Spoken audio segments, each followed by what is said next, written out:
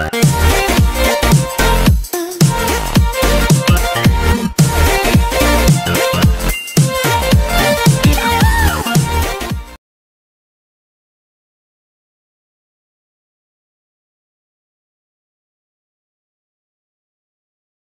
guys, I hope you are all doing well. Let's see today's question. So today's question is from the topic of permutations and combinations. And in this question, we have been told that there are 10 points in a plane. And out of this 10 points, four points are on a straight line. So basically those four points are linear. And apart from this four points, the remaining six points are non-collinear.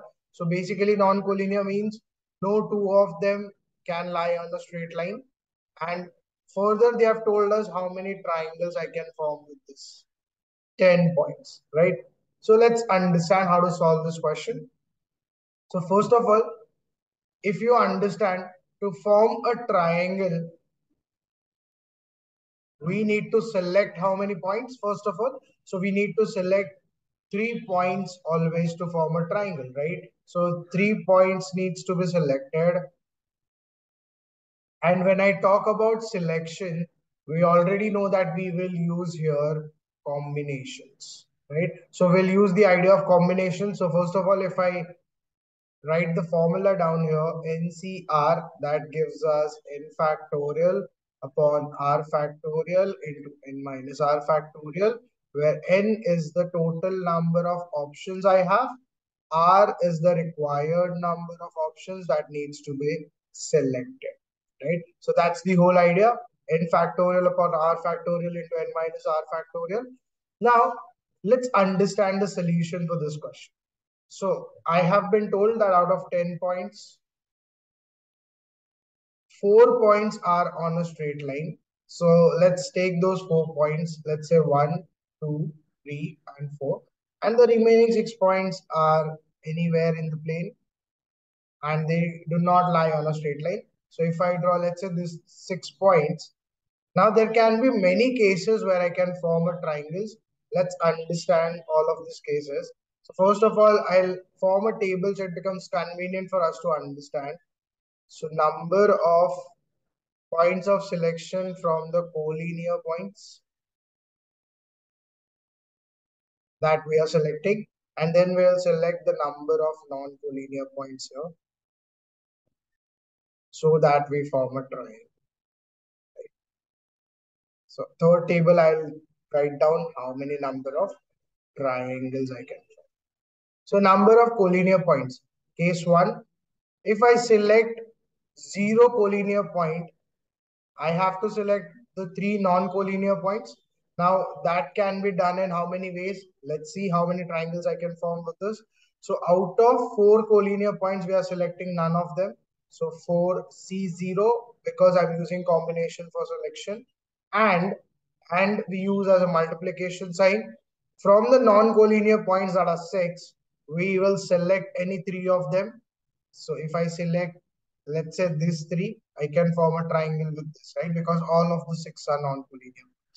So I can form triangles as 6C3. Second case. So let's first understand all the cases and then we'll solve this further to understand how many triangles I can form there. Second case, I can select as one collinear point. Let's say if I select one collinear point, let's say this. So if I select one collinear point, I will have to select any two non-collinear points. So I can form a triangle with this also like this right? So that's the idea. So I will select here two non-collinear points. So again, number of triangles. Again, if I use combination, I can select out of four collinear points, one collinear point, and from the remaining six non-collinear points, I'm selecting two of them. Further, if I select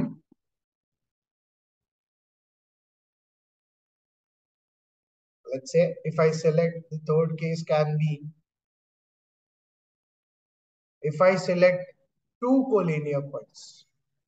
Now if I select let's say this and this collinear point, I will have to select one non-collinear point also so then I can also form a triangle for example like this So two collinear points and one non-collinear point also forms a triangle, right? So that's the idea for this. So now I can do that selections in how many ways? Let's see how many triangles I can form. So out of four collinear points, I'm selecting two of them. Out of six non-collinear points, I'll select only one there, right? Because I need only three points for forming a triangle. And the fourth case I can do here is three collinear points and then zero non-collinear points. But if you understand, let's say if I select these three collinear points, so when these three collinear points lie on a straight line, do we get a triangle here? You will not get a triangle because all of these points are on a straight line. So you'll always get a straight line here, not a triangle. So you cannot form a triangle with this right? So we had a straight line here. So whenever you select three collinear points, you cannot form a triangle with this. So number of triangles in this case becomes zero. So let's solve all of these ideas. And then if we add that, we get the total number of triangles formed. So first we have as 4C0 and 6C3. So 4C0 into 6C3. 4C0, we already know it is 1 because NC0 is always 1 and NCN is also 1. Right, so I'm using that idea here. 6C3 I can write as 6 factorial upon 3 factorial into 6 minus 3 3 factorial.